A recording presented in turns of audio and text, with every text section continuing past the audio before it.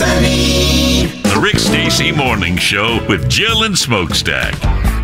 Johnny Depp and Amber Heard's trial yesterday. Obviously, we know Johnny was an addict and he did do a lot of drugs, but there was one incident that Amber said he used a lot of MDMA, which is like Molly, and he's denying that. Have you ever consumed 8 to 10 MDMA pills at once? Kill you.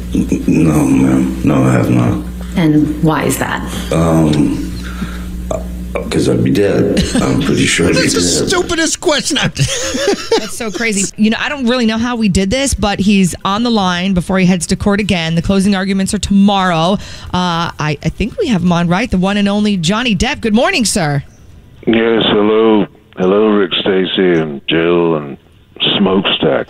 I think that'd be my nickname if I worked on a radio show, Smokestack. Or uh, maybe Dr. Smirnoff. No, Mr. Johnnie Walker Black. Johnnie Walker Black, that's it. So uh, it all comes down to this. Closing arguments are coming up soon. How are you doing? You know, before we get to anything else, I just want to take a moment to thank all my wonderful female fans who've shown up at my trial week after week, each and every day. Your support means the world to me, and I love you. And I mean that in a platonic way. But I do have a really, really bad drinking problem, so you never know. You know what I mean. Well, Johnny, it's hard to believe, but your defamation trial is almost over. Uh, what are you going to do with all the extra free time you'll have uh, when this wraps up? Well, for one thing, I finally have time for some of my favorite hobbies. For instance, there's nothing I really enjoy more than spending a lazy Sunday afternoon passed out on the couch. I enjoy a good night's sleep, you know, sure, like anybody, but there's nothing quite like a light drug induced coma to move the day along. Uh, what will you fill your time with, though, for real? Well, I might take some courses on uh, first aid. You know, I never again want to be in a position where I have a, a severed finger or limb and I don't know how to reattach it. I also might spend some time on Tinder.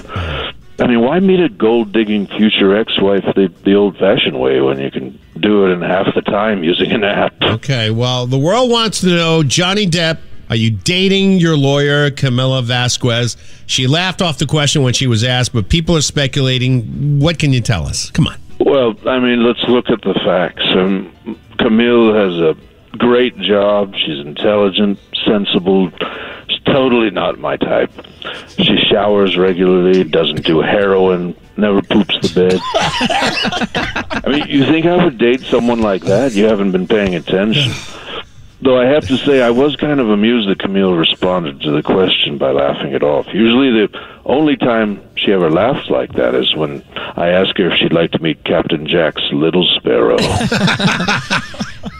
Johnny, one part of Amber's testimony uh, struck me the other day. She said that the reason she punched you in the face during a March 2015 altercation is because she was afraid you were going to shove her sister, Whitney, down a flight of stairs. That seems like quite a stretch. Do you think the jury is buying any of that? Well, what I do know is Amber's testimony is indeed being believed, but only by Amber. Eh, I mean, it's not exactly true. I'm trying to be kind, but Amber would have to be a much better actress for even Amber to believe it. and we do know that's not happening anytime soon.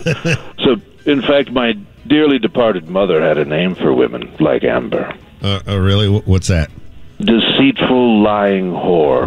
Oh, I see. Yeah, but frankly, I don't remember being punched in the face by her. Well, to put it, put it another way, I, I don't remember feeling a punch in the face from Amber. That's the beauty of being under the influence 36 hours a day. I actually haven't felt my face since the late 80s.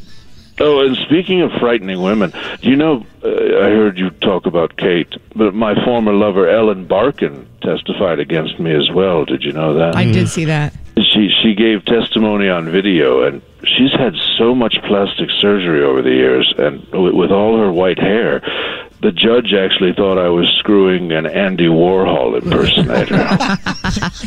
Well, if we could get serious for a moment, Johnny, what has been the most difficult or the most challenging part uh, of dealing with this whole trial on a personal level for you?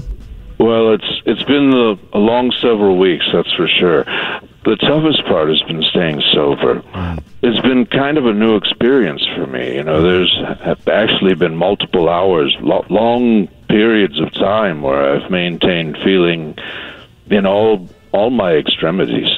it's it's been extraordinary, but I have to say this trial has presented so many arduous challenges, like reliving a painful marriage, mm. hearing Amber tell countless lies about me. Mm. Being away from my impressive collection of vintage scarves, do do I wear my hair up in a bun, or down in the mop top today? It, it's very confusing. Uh, Being forced to sit in one place instead of wandering around while my barbiturates take effect. Not knowing if my assistant is properly washing and storing my scarves back in Los Angeles. Not getting to smell my scarves. Did I, did I mention the scarves already? Yeah, you did. Yeah. Yeah, it's it's been rough, Rick. Well, we gather that. So, uh, what's your prediction for the trial's outcome? Any idea which way the jury will go with these hours and hours of testimony? Where are they going with this? Okay, I I'm going to blow your mind right now. Are you ready? Ready? This trial will not have an outcome because when you think about it, aren't we all on trial?